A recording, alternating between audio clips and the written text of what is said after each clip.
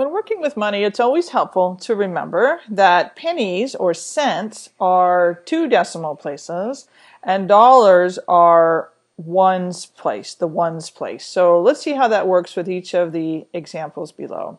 If we want to write the word phrases as a decimal, $12 and 75 cents. So that and is where the decimal point goes. So that would be 12 0.75 would be $12.75. And just to be technically correct, let's go ahead and put a dollar sign here.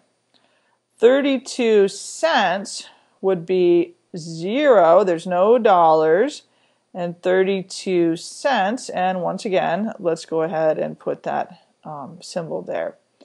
5 cents, 0 0.05 and finally, $100 and 7 cents would be $100 and 0.07. So 100.07 would be the decimal for $100 and 7 cents.